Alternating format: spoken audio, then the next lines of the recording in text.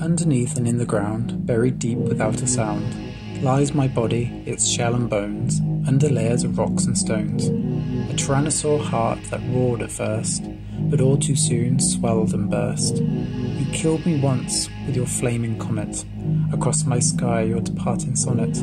Our love, which first defied a distinction, all too soon embraced extinction, and could not survive the battles we raged, like roaring beasts housed in a cage. You bit and snapped and left me dying, a fallen giant, cold and crying, and so my flesh transformed to oil, The precious black gold beneath the soil. And you evolved and then migrated, our DNA of trust abated. This amber love was thus entombed, waiting in time to be exhumed.